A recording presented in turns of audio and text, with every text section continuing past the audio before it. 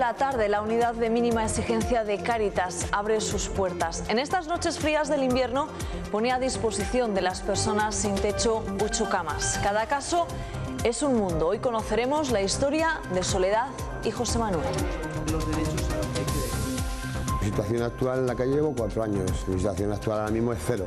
Para gracias a Dios que empezó a cobrar una pequeña ayuda, pero poca. En la calle, calle llevo solamente desde el jueves pasado pasando el frío, un frío enorme. ¿Qué tal? Muy buenas tardes. Y en clave política, el equipo de gobierno ya ha comenzado a articular algunas de las medidas pactadas con Ciudadanos. En el pleno de mañana, el Partido Popular propondrá constituir una comisión de investigación sobre los consorcios, mientras que hoy se ha adjudicado la redacción de un plan director para implantar la administración electrónica. Madrid Fusión calienta las cocinas para abrir sus puertas la próxima semana con todas las novedades y técnicas más vanguardistas. Una cumbre a la que no faltará Burgos Alimenta con la participación de 17 productores de la provincia y nuestra estrella Michelin, Miguel Cobo. El Festival Escena Abierta encara este fin de semana su recta final. Hoy se han presentado dos nuevas propuestas. Por un lado, la Factoría de Flamenco Experimental del Niño de Elche más bulos.net y por otro, el viaje por los paisajes sonoros de Onírica Mecánica. En deportes, el Burgos fue eliminado anoche de la Copa Federación por el Fuenlabrada, una eliminación que no es ningún drama, es más, se antoja un alivio teniendo en cuenta las necesidades ligueras y el escaso fondo de armario de los albinegros.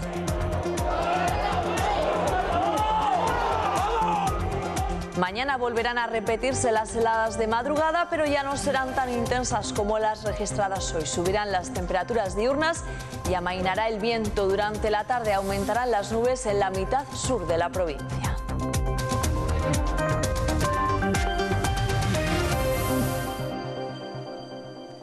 El Partido Popular comenzará a ejecutar algunas de las medidas pactadas con Ciudadanos para evitar la moción de censura. Mañana propondrán al Pleno constituir una comisión de investigación sobre los consorcios, mientras que hoy se ha adjudicado la redacción de un plan director para implantar la administración electrónica. Por 39.000 euros se ha adjudicado la redacción de un plan director que determine cómo debe implantarse la administración electrónica en el ayuntamiento. Fue una exigencia de Ciudadanos, así como la constitución de una comisión de investigación sobre los consorcios del ferrocarril y de Villalonquejar, que mañana analizará el Pleno. Presentaremos esta proposición para cumplir ese acuerdo con Ciudadanos, con esa enmienda in voce, para que no solamente contenga como ustedes pueden leer en la proposición, el consorcio del, ferrocarril, sino también el, el, consorcio de Villalonquejar. También se ha adjudicado el contrato para dotar de vestuarios y enfermería al Coliseum a la empresa Viales y Obras Públicas por medio millón de euros. Y en materia deportiva, de nuevo se enviará al consultivo el expediente del campo de rugby previo a la resolución del contrato con Dragados y a la imposición de una sanción de 185.000 euros. Para, por un lado, eh, declarar la resolución, eh, si procede del contrato de obra, por eh, demora en el cumplimiento de los plazos por parte del contratista y, por otro lado, imponiéndole una serie de, sanciones en lo que respecta al incumplimiento de los criterios de adjudicación eh, y, por no respetar el plazo contractual. Por otro lado, 56 personas atendió el año pasado la asesoría psicológica que ofrece la Gerencia de Servicios Sociales. El 87% fueron mujeres cuya edad se sitúa entre los 41 y los 50 años. Su perfil, el de una mujer de nacionalidad española, divorciada o en trámites de separación, con dos hijos y que pide apoyo tras sufrir malos tratos.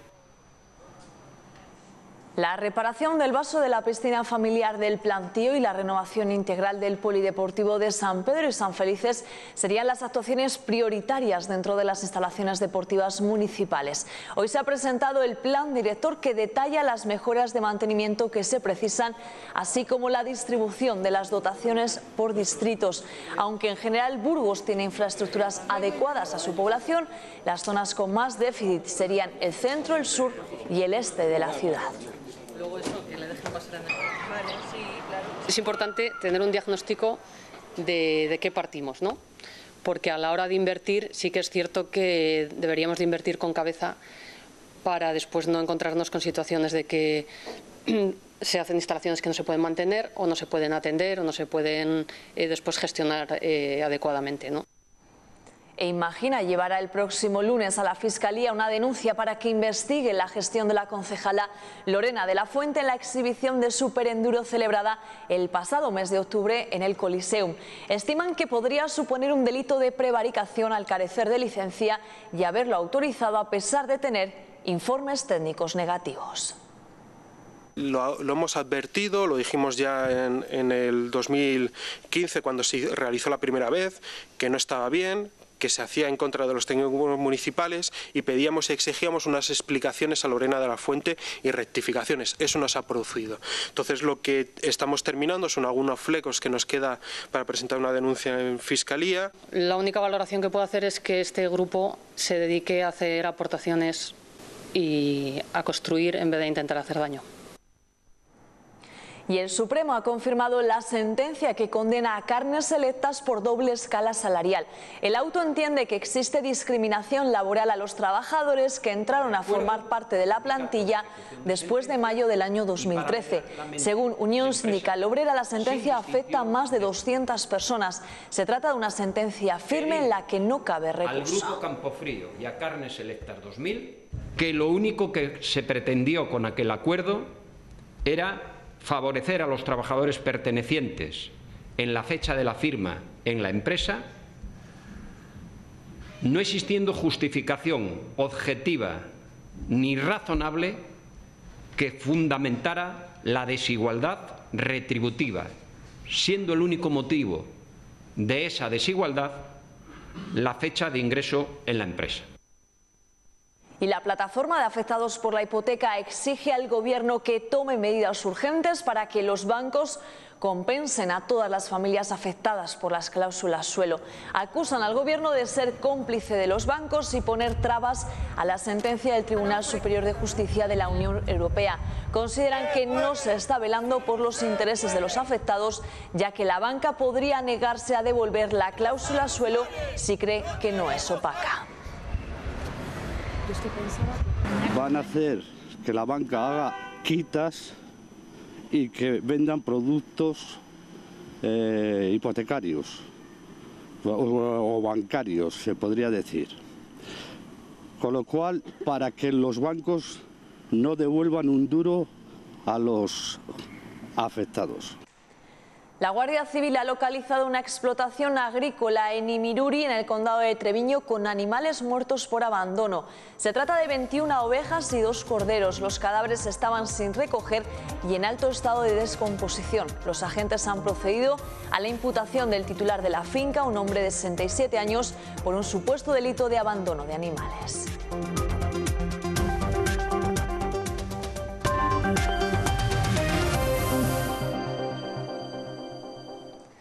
Un hombre de 82 años ha sido atropellado esta mañana por un autobús en el complejo de Fuentes Blancas. El suceso ha ocurrido a las 10 menos cuarto de la mañana. El hombre ha resultado herido y ha sido trasladado en Ubimóvil al hospital universitario. Y continuamos porque la ola de frío y la alerta por temperaturas mínimas en el norte y el este de la provincia. Hoy la mínima más baja se ha registrado en Ontoria del Pinar con 14 grados bajo cero y muy cerca se ha quedado Aranda de Duero con menos 12. En la capital burgalesa los termómetros han bajado esta noche hasta los 5 grados bajo cero. Esta ola de frío ha disparado el consumo de energía eléctrica y ha elevado el precio hasta niveles que no se veían desde hace más de dos años. Esta tarde a las 8 tocará su cota máxima. El coste por megavatio hora se situará por encima de los 95 euros. La unidad de mínima exigencia de Cáritas pone a disposición de las personas sin un techo ocho camas para pasar estas gélidas noches. Un servicio que además les ofrece una ducha caliente y desayuno. Allí nos hemos encontrado a Soledad y José Manuel, dos personas sin hogar que se conocieron en la calle. Viven una historia de amor desde hace meses con la esperanza de encontrar una vivienda y resolver su problema. Pues lo que quieres es ayuda José Manuel lleva seis años en Burgos viviendo en la indigencia. Actualmente percibe la renta activa de inserción de 400 euros que cobra cada dos años.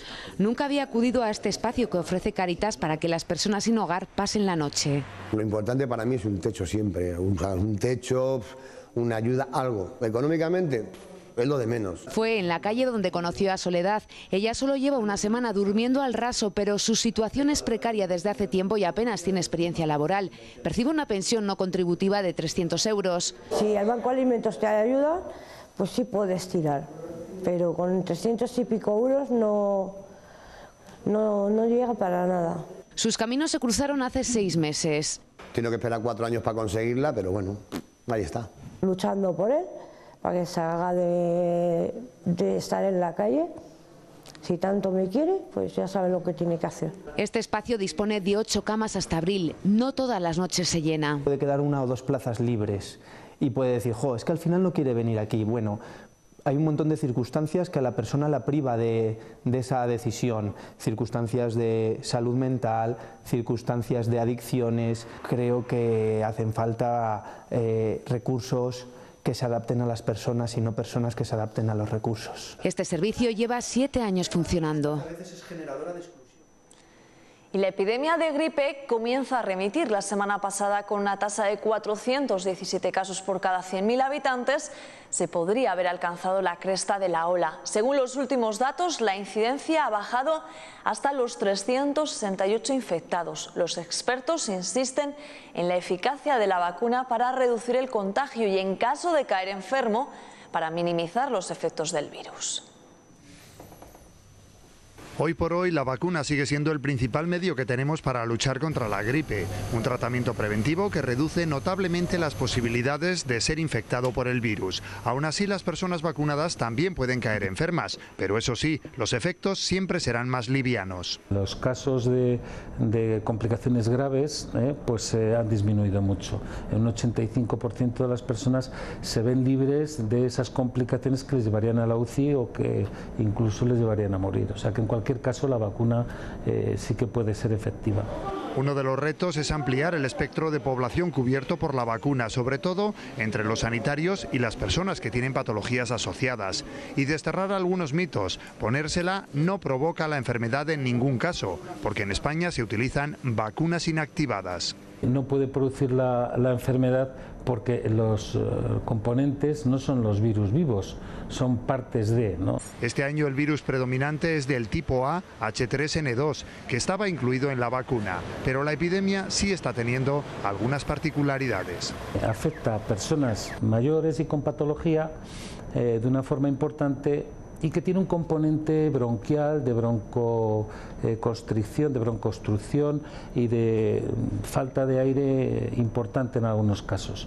Tos, dolores musculares y cefaleas, fiebre alta son algunos de los principales síntomas, pero no todo lo que padecemos en esta época es gripe. Hay hasta 200 virus respiratorios diferentes. Y recuerden, la gripe hay que pasarla. El tratamiento es únicamente para aliviar los síntomas.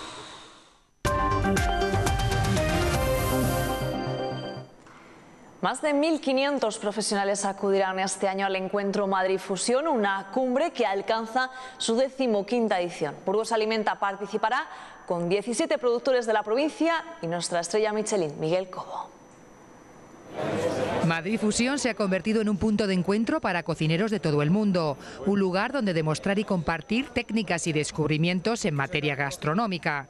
Entre los conferenciantes de 17 países se realizará una presentación de morcilla de Burgos que bajo el título Recetas en Evolución presentará el lunes 23 Miguel Cobo. Y Cobo Vintage, en este caso yo voy a estar de jurado eh, en el concurso de Lactalis con, con el presidente Martín Berasategui, Oriol Castro, Rodrigo de la Calle y, y, y, el servidor, ¿no? que la verdad que también me hace una ilusión de la leche poder entrar ahí porque, porque Burgos va a estar sentado también con grandes cocineros. De forma paralela, Burgos asistirá esos días al SIRA, que se celebrará del 21 al 25 de enero en Lyon, donde acudirán nueve empresas agroalimentarias adheridas al sello. Llevaremos todos los productos habituales nuestros, el jamón de bellota, el chorizo, el lomo, el salchichón, el lomito, la copa, la presa todos estos productos que elaboramos y, por supuesto, el chorizo y salchón de buey, que no es muy conocido todavía en España.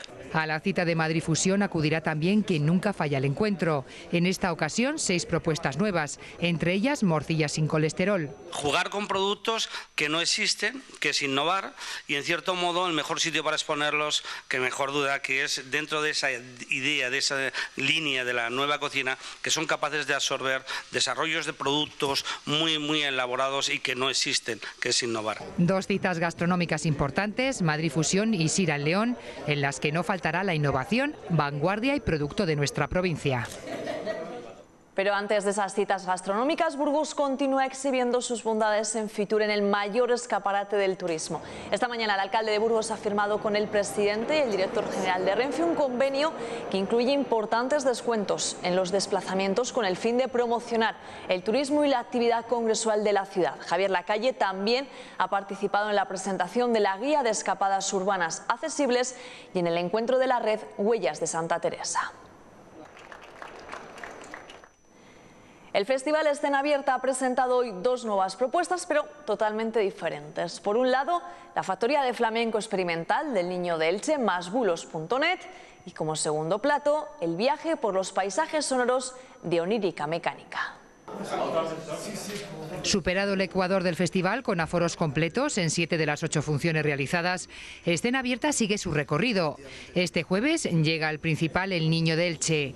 Más de 30 premios nacionales y premio como cantaor joven en el Cante de las Minas en 2005 avalan la trayectoria de este artista. Con su espectáculo Bacón Bacón, Cantar con Fuerzas, trabaja con sensaciones pictóricas de Francis Bacon, que traslada a su propio cuerpo. Este espectáculo supone un, cambio de paradigma, yo creo que tanto para bulos y tanguerías como para mí, fue en, mi caso fue la primera propuesta, diríamos, o la propuesta que me desplaza totalmente de todo lo que venía haciendo de concursos, de peña, etcétera, y a partir de ahí pues yo cuento mi, por eso siempre digo mi otra vida. Onírica Mecánica, conocidos de la escena artística burgalesa por sus actuaciones en el enclave de calle, participarán a partir de este viernes en el festival con su propuesta El rumor del ruido, un viaje por los paisajes sonoros desde la memoria antigua hasta la más reciente.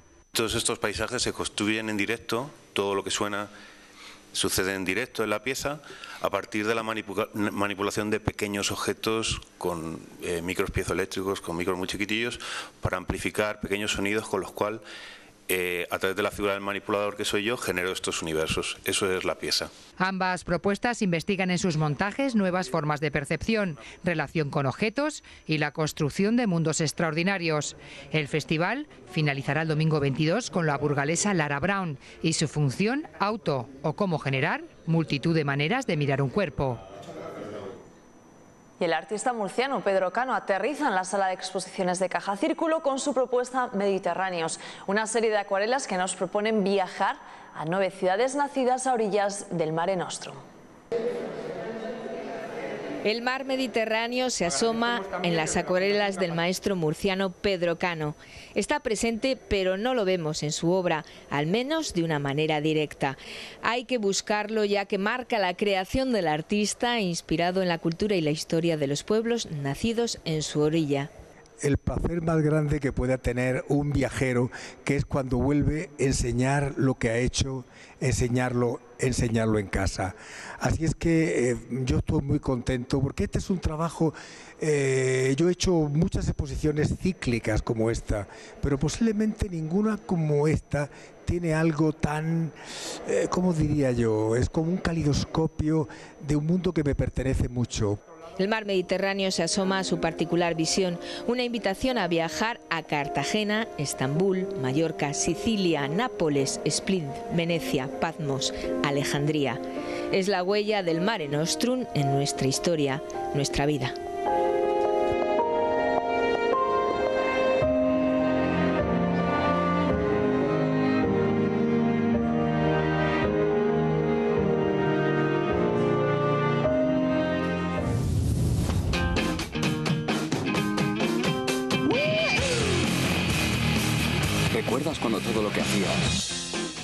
Puro placer de hacerlo?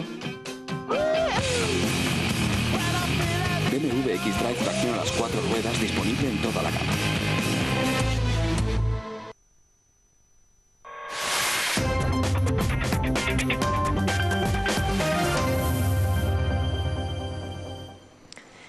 Mirandés intenta volver a la normalidad después del enorme revuelo que ha supuesto la destitución de Claudio Barragán. El equipo sigue preparando a las órdenes de Javier Álvarez de los Mozos la complicada salida al campo del Getafe. Para este partido podría recuperar el esquema táctico de tres defensas empleado por Carlos Terrazas. Los jugadores, en palabras del madrileño Daniel Provencio, defienden que hay que regresar al espíritu del vizcaíno para poder revertir la situación. Nosotros llevamos mucho tiempo haciendo unas cosas y Javi ha estado, con, ha estado delante de cuando se ha trabajado de una forma. Y yo creo que vamos a ir por ahí, porque como, como hemos seguido trabajando durante estos dos años y medio que por lo menos llevo yo aquí, eh, vamos a trabajar por esa línea que, que, nos ha ido bien, yo creo. hemos hecho buenas, buenas temporadas, hemos hecho buenos resultados en la Copa del Rey y, y yo creo que ese es el camino y hay que, hay que, ir a, hay que volver al pasado, eh, hay que dejar la etapa de, de Claudio Barragán atrás. Y el Burgos fue apeado anoche de la Copa Federación por el Fuenlabrada, una eliminación que no es ningún drama, es más, se antoja un alivio teniendo en cuenta las necesidades ligueras y el escaso fondo de armario de los albinegros motivado por las lesiones. Adiós a la Copa sí, pero visto el desarrollo del choque, la eliminación fue totalmente injusta. Tras un primer tiempo anodino, con solo una ocasión para cada equipo, todo cambió tras el paso por vestuarios. Con la entrada del juvenil Xavi Echarri y la expulsión del fuenlabreño Miguel Ángel, el panorama cambió por completo. El Burgos dominó. Montero fue una pesadilla para la defensa madrileña.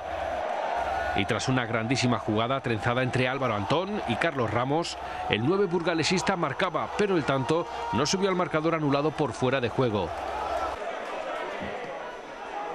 Aún así, el ariete madrileño del Burgos lo siguió intentando por activa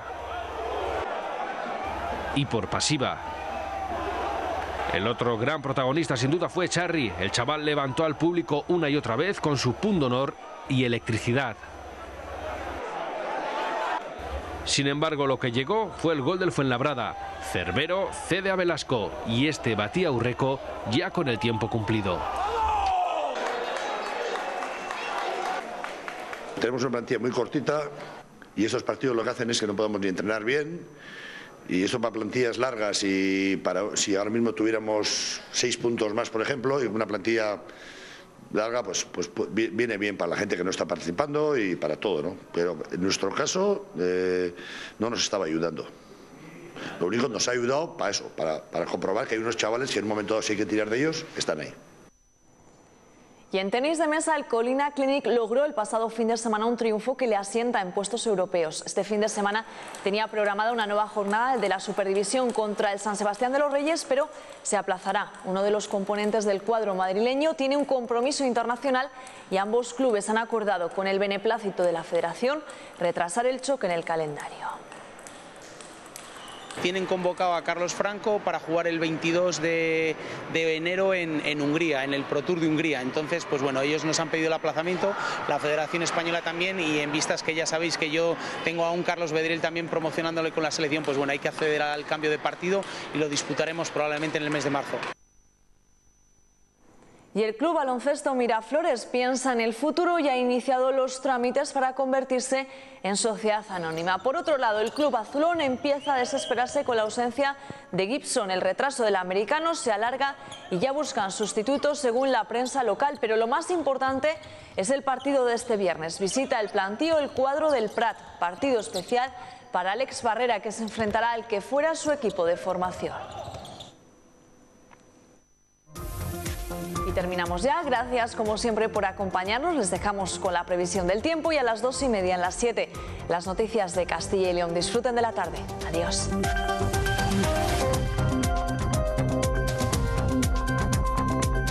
En Clínica Dental por Domingo sabemos que la salud de tu boca es clave para que te sientas bien. Por eso contamos con un gran equipo para desarrollar todas las especialidades. Nuestro objetivo, ofrecerte el mejor servicio con la mayor calidad para que tú luzcas la mejor sonrisa. Pide cita y consúltanos. Podemos ayudarte. Clínica Dental por Domingo, calle Vitoria 28.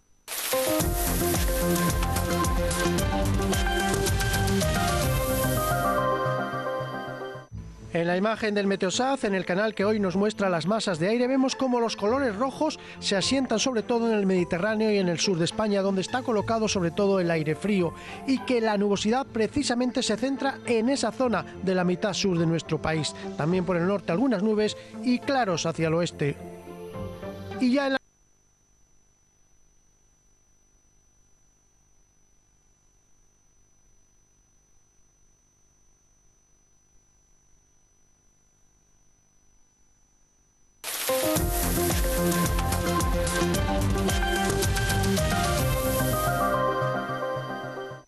En la imagen del Meteosat, en el canal que hoy nos muestra las masas de aire, vemos cómo los colores rojos se asientan sobre todo en el Mediterráneo y en el sur de España, donde está colocado sobre todo el aire frío, y que la nubosidad precisamente se centra en esa zona de la mitad sur de nuestro país. También por el norte algunas nubes y claros hacia el oeste. Y ya en la situación prevista para mañana vemos cómo sigue todavía el flujo de viento del este hacia nuestro país con esa borrasca que está rondando por el Mediterráneo y que mañana incluso se acercará un poco más a la península. Así que mañana aumentará la nubosidad y la precipitación en la zona de Levante, donde habrá nevadas copiosas, y en nuestra provincia aumentará la nubosidad. En la zona de la Sierra mañana en concreto amanecerán con heladas, pero no tan intensas como hoy, donde en Ontoria del Pinar han llegado a tener 14 grados bajo cero. Las mínimas mañana se quedarán en 3-5 bajo cero. Luego irá aumentando la nubosidad y subirán las temperaturas diurnas con máximas sobre 4 grados. Por el sur también heladas al amanecer, mínimas de 4 o 5 grados bajo cero, no como hoy, que en Aranda han llegado hasta los 12 bajo cero, y máximas subiendo hasta los 6-7 grados, también con aumento progresivo de nubosidad según avance el día. Por el oeste y por el suroeste, algunas heladas, sol por la mañana y luego aumento de nubes por la tarde. Suben las temperaturas diurnas. En Burgos tendremos heladas, pero ya no tan intensas como estos días de atrás. Y luego por la tarde algunas nubes altas y medias. Subirán las temperaturas máximas. Mañana ya llegaremos a los 5 o 6 grados de máxima. Por la mitad norte y sobre todo en el este también heladas, con valores entre 3 a 5 grados bajo cero, y luego ascenso de las temperaturas diurnas gracias al sol y a que no habrá tanto viento. Podríamos llegar incluso a tener hasta 7 grados en algunas zonas del Valle del Ebro. Para el sábado también heladas al amanecer, pero ya normales, mínimas de 3-4 grados bajo cero y luego ascenso de las máximas, pudiendo llegar hasta 7 grados, con algunos intervalos nubosos. El domingo lo mismo, intervalos nubosos, con viento del nordeste por la tarde algo más fresco y el lunes podría caer algún chubasco de nieve débil y aislado.